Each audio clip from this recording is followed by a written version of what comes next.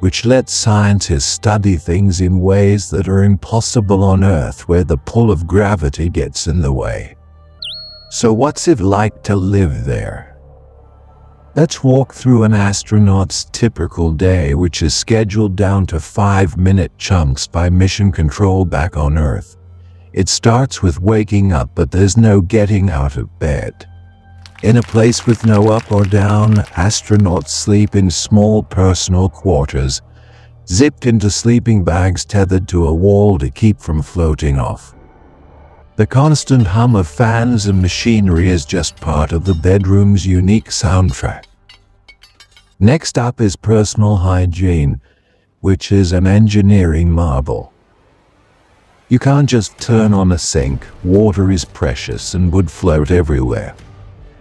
For brushing teeth, they use edible toothpaste or a suction tool to get rid of the foam. Washing hair requires a special no-rinse shampoo